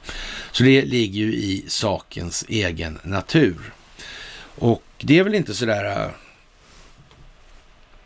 ja, jättedåligt då att Aftonbladet är tvingade att ta upp det helt enkelt. Det kommer inte göra någonting bättre för den djupa staten i alla fall. Det är helt säkert. Ja, och som sagt, det är ju anmärkningsvärt det här med att domen mot den här, i den här Floyd-grejen då, så ja. Alan Dershowitz har lagt sig i det där och eh, vi får väl anta då att han menar vad han säger när han säger att de här då som har dömt den här polismannen då för vållande eller mord eller vilket det nu är han blivit dömd för. Men skitsamma, det var mycket i alla fall. Det, han fick ju strängaste då. Eh, ja, det var ja, det strängaste yrkandet som åklagaren hade och det fick han för då. Och eh, ja, det är väl lite sådär och, och men Maxine Waters och ett, an, ett gäng an, andra demokrater, de gick ut och sa att då måste det bli upplopp, då måste det bli våld och så vidare. Och sen publicerar man för säkerhets skull namnen på jurymedlemmar och så vidare i det här. Och eh, ja, då finns det ju med viss naturlighet så för samhället i stort då så är det ju ingen finess med att ja, göra situationen värre då, utan då kan man ju hoppas på då möjligtvis att ja, då kommer den här instansen är så att säga körd. De förstörde ju så att säga den möjliga påföljden här i och med sitt utspel och uppmana till våld och sådana här grejer. Och det är ju inte så bra. Och det är ju därför det här kommer att tas om då. Då kanske det blir ett annat utfall. Då får kanske man ska vara lite mer försiktig från myndigheter och statens sida med att så att säga redovisa vilka som dömer och så vidare. Det här kanske ska hållas bakom lyckta dörrar och sådana här saker. För det här är ju ett ofog. Det här vänder ju upp och ner på hela rättssamhället om man kan hålla på på det viset. Och det är ju liksom inte tanken då. Vi eh, ja, kan väl tänka sig att eh, för svensk vidkommande så det, det, är ju lite sådär, eh, ja, visar lite grann hur trögt det är här. Alltså om, om det var så att det var domar i, av, så att säga, politiskt heta mål och sådana här grejer och, och, och någon tapetserade nä, nämndemännens namn och adresser och anhöriga och så vidare och så vidare. Outade dem bara så. Ja, det är ingen som kommer i, i huvudet på folk liksom. Det är, vi, har, vi har ju till och med, vi har ju tvungen att ha någon sån här löjlig eller grej som Flashback då som är liksom, ja det tog ju inte så lång tid innan jag blev bannad där på livstid kan jag säga. Men i alla fall, och det är bara anonyma jävlar dessutom. Men det, och det är, det är polisen som håller det där helt säkert, så det är kriminalunderrättelsetjänsten i vart fall. Var i alla fall förr då. Det kanske är några andra nu. De kanske är under Stratcom, vad vet jag. Det är väl inte att tro att Maxine Waters inte klarar av att räkna ut det här. Nej, det gör hon. Hon har stackel på och det innebär väl att hon måste ha gjort rätt dåliga grejer ändå för att hamna i den där situationen. Det får man väl säga ändå. Det kan inte vara sådär skithundra i alla lägen. Ja, och eh, det är ju fantastiskt med RFSL och RFSL då startade då Planned Parenthood International någon gång på 30-talet där och eh, Ja, en RFSL-anställd döms till fyra års fängelse för våldtäkter. Det verkar ju inte vara så där jävla mycket direkt. Det var ju inte bara en, alltså. det var ett gäng alltså. Så, och mot fyra ungdomar då. Det är ju lite sådär kanske. Möjligen är det väl så att, ja, dels är det tjänstemannaansvaret och dels är det då, vad är det här för någonting egentligen, RFSL? Är det möjligt att få in människor i organisationen som beter sig exakt tvärt emot vad som organisationen som sådan uttrycker sig vilja företräda för någonting? Och hur kommer det sig i så fall? Det är ju som katolska kyrkan det där. Och, och, det får man ju tänka på. Är det där verkligen... Och jag menar, Plant Parenthood har ju erkänt nu att vad man håller på med i de här sammanhangen med kopplingarna bak till Margaret Sanger och, och Bad Seed och det här. Och, alltså att eh, färgade människor var ogräs då som måste steriliseras och inte kunna fortplanta. Alltså, ba, ba, ba, ba, ba. Och det här i sin tur är kopplat till Rockefeller Foundation då. Rockefeller Foundation är kopplad till finansieringen och Kaiser Wilhelm-institutet hade sett oerhört korkad ut om Investor hade finansierat de där grejerna. Det fick räcka med rasbiologin härifrån alltså. Från Uppsala universitet i den delen. Så. Och det var, det var redan nu var ju glidningen liksom lite sådär halvtveksam. Och så med Sven Hedin och Sven Hedin-institutet och Anne Nerbe-projektet och det här. Och man spårade bara gamla vikingar och den här romantiken och trallala och Thulesällskap och allt det här. Det var ju redan där liksom väl över vad det borde vara om man inte vill riskera att bli upptäckt alltså. Men, men, man trodde man skulle gå i land med det där någon gång i tiden och det blev för sent att upptäcka att man hade gått för långt tidigare då. Ja, hm familjen Persson äger 2,6 procent av aktierna i Bures då och eh, det här är ju då någon form av tombolag i det här sammanhanget då. Det är ju som någon sa när det flyter blod på gatorna är det dags att köpa. Och varför skulle då DI gå ut med någonting sånt då? Att de här tala om att de har ett sånt där bolag liksom som står inför att göra ett bolagsförvärv då, men ändå registrerat på börsen då. Mm, det är nog stort och dyrt i alla fall om de ska köpa dem, men eh, det blir ju lite billigt alltså. Oj, vilken överraskning när det kommer. Vi kommer bli så förvånade. Ja, och om vi dessutom kan konstatera att det här är manipulerat på något vis för att få ett bättre pris eller en prisrelation eller whatever liksom. Ja, man kan inte liksom säga så här, de är det värsta kaoset för Ericsson. Och då köper då det där in sig i Ericsson då till någon så stor del så att det blir bara det blir bara fånigt liksom. Noll trovärdighet helt enkelt. Jaha, så brist, då brister bubblan. Alla bus, pusselbitar finns där. Och eh, ja, komedi i valstakt skulle man väl kunna säga, när man går igenom det där. Alltså det, man tar ingen hänsyn till betalningsmedlet, vad det är för någonting, då räntebelastade skulder och vad det för med sig på sikt. Och eh, ja, om man drar då en lång sida om det där för att hålla förtroendet uppe för systemet. Det blir bara fånigt liksom nu. Det är jättekonstigt.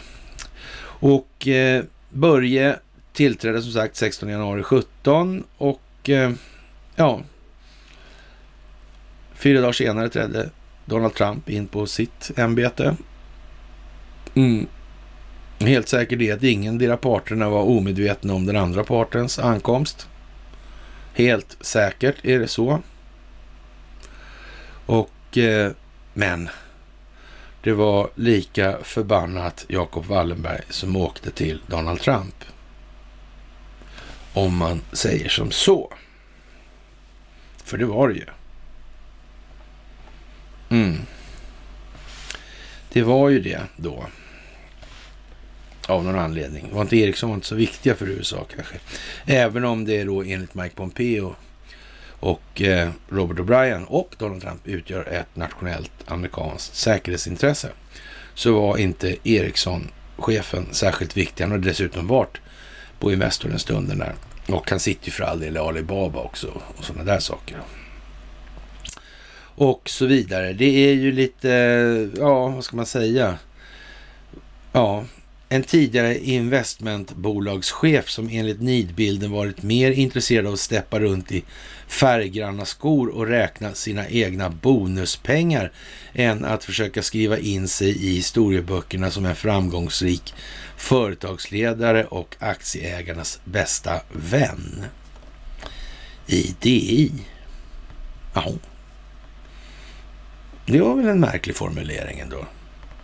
Och återigen, det skrivs inga opinionsbildningsartiklar utan att de som skriver och författar tänker på vad de skriver och författar och vilket värdeladdningsmässigt innehåll som den informationen för med sig och är tänkt att skapa som effekter då. Ja, eller för effekter. Ja, det är ju lite sådär. Det måste alla förstå igår egentligen. Men det är ju som det är och eh, det går ändå jättebra. I Japan är det ju vad det är och eh, en axelmakt med en Serafimerförsedd kejsare är ju vad det är som bekant. Men Metoo tycker inte att det här är så allvarligt naturligtvis. För nu är det så här att de och dessutom försöker de här, kvar, de här kvarlevande då sedan andra världskriget nu då, de måste ju ändå varit rätt så unga för att utnyttjas sexuellt, kan man ju säga. Och en sydkoreansk domstol tycker att man inte kan tving, lagligen kan tvinga Japan att kompensera de här koreanska tröstkvinnorna som man kallar det för då. då. Och de arbetade i japanska militärstyrda bordeller alltså under andra världskriget. Och Japan är ju vad det är i de här sammanhangen och det fanns ju anledning till att Hirohito-familjen hade då Serafimerorden på sig. Eller var försedd med Serafimerorden. De hade ju, ja, kopplingarna är som de är. Va? Och vem som var då sändebud, diplomatiskt sändebud där borta vid tiden för det rysk-japanska kriget och så vidare. Ja, det var ju som det var med den saken. Helt enkelt. Och, och det är ju inte, det är bara så. Och inte särskilt svårt heller. Det är ju ja, anmärkningsvärt kan man tycka att det här ska behöva koka ihop så här länge innan det blir något mera. Men å andra sidan är det ju just det som är grejen. När folk förstår så förstår de, när de inte förstår förstår de inte. Och eh, för att de ska förstå så behöver de hjälp på traven och den hjälpen ja, bygger ju på att andra gör någonting som hjälper dem och att de själva vill. Så är det ju. Och Christer Gardell, han gråter ut nu och eh, ja, han har problem i Danske Bank som sagt, där han har en aktiepost och det har han i Ericsson också. Han har förvisserligen inget bestämmande på grund av att han är rätt begränsat med A-aktier och eh, ja, nu är det som det är, kort sagt. Varken mer eller mindre. Och eh, vi kommer tillbaka till dit vi börjar som vanligt och eh, ja, ja, vi kan ju skriva så här, nu jävla går det inte att missa. Och eh, tänka sig en svensk schakal istället för tigern. Ja, vem fan är det som har skött telekominfrastrukturen? Det kan man ju fråga sig. Och eh, den här schakalen är ju vad den är och eh, Vladimir Putin höll tal igår och Moskva kommer att hitta asymmetriska sätt att försvara sina nationella intressen om andra nationer vägrar dialog, sa Rysslands president Vladimir Putin. Och övningen med att eh, organisera statskupp och försöka att eller försöka att organisera mord på statschefer är alldeles för mycket. Alltså.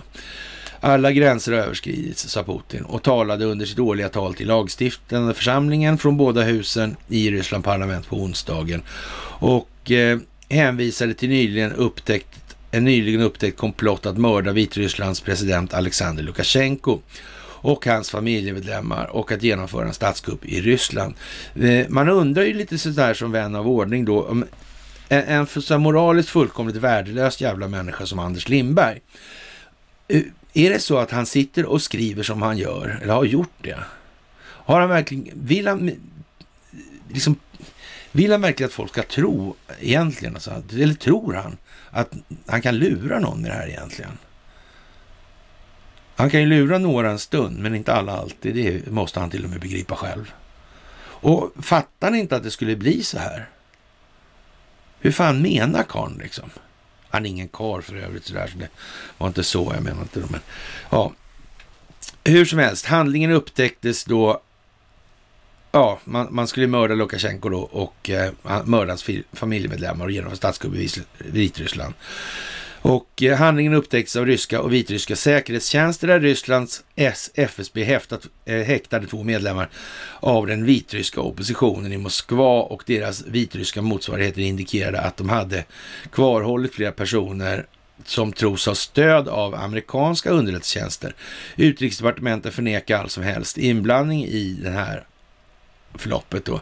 Det är värt att påpeka på bekännelserna från de kvarhållna deltagarna i konspirationen att en blockad av Minsk förbereddes inklusive dess statsinfrastruktur och kommunikation, alltså telekominfrastrukturen.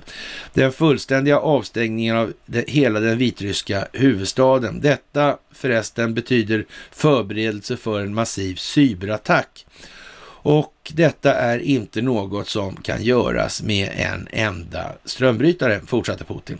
Tydligen är det inte utan anledning att våra västerländska kollegor envist avvisat många förslag från den ryska sidan om att upprätta en internationell dialog om information och cybersäkerhet. Och då är ju då den lilla detaljen den att den som har tillhandahållit avlyssningen och de här, åt, och de här grejerna åt Alexander Lukasjenko i alla år. Den firman är känd i det här landet i alla fall. Och det är den vi har nämnt i 17 olika andra sammanhang bara under det här myset nu alltså.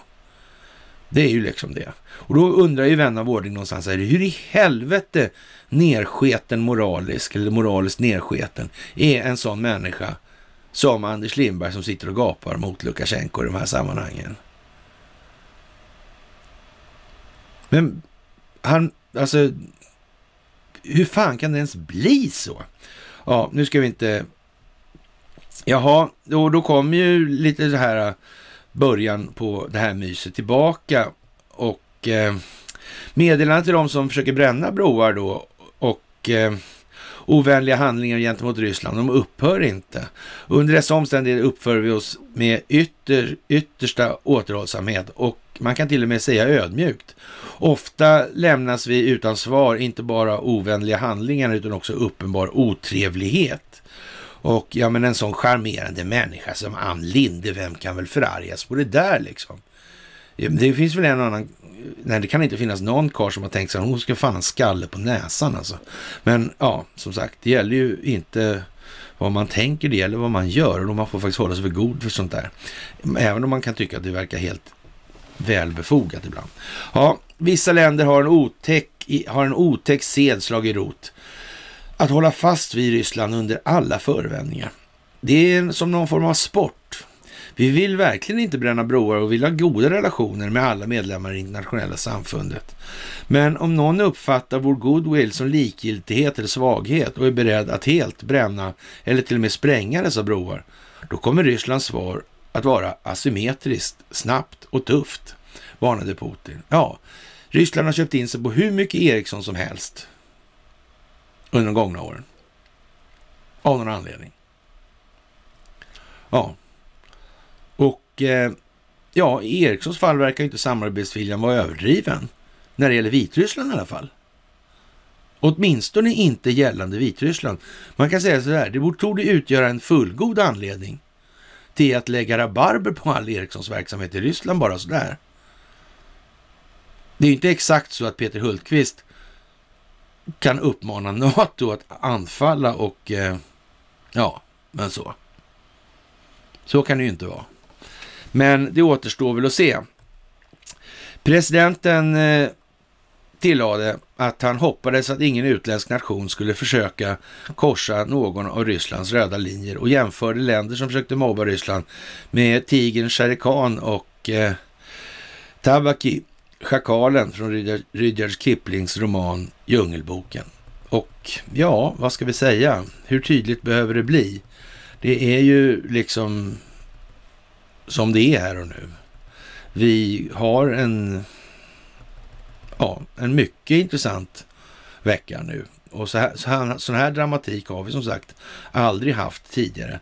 Och för att knyta ihop det då så vi inte glömmer det här företaget Ericsson då så skriver då Svenska Dagbladet idag att rätten i Stockholm kan avgöra Ericssons framtid och det handlar alltså om det här med att stänga ute Huawei. Och det är ju som man säger i Svenska Dagbladet då någonting som inte kanske egentligen är så viktigt här hemma i Sverige så, men det är viktigt för Ericsson i Kina. Och, men problemet med det här med Ericsson i Kina, det är ju att det inte bara är Ericsson, det är hela Investor som har alltså en bra skål. Bara Ericsson i Kina har alltså större investeringsengagemang i Kina än vad Kina har i landet Sverige. Och det är bara Ericsson. ABB är ingen liten firma i kraftförsörjningssammanhang på planeten, helt säkert. Och Kina är ingen liten verksamhet i så motto. Det är helt jävla säkert. Och eh, ja, det är ju lite sådär eh, halvspeciellt med det svenska rättssystemet med Post och telestyrelsen ingående då kan man säga i de här grejerna och nu ligger det i en förvaltningsrätt och eh, ja, i Asien är det så att de länderna som ligger i Asien, de känner till att de ligger i Asien och de känner till att Kina ligger i närheten om man säger som så.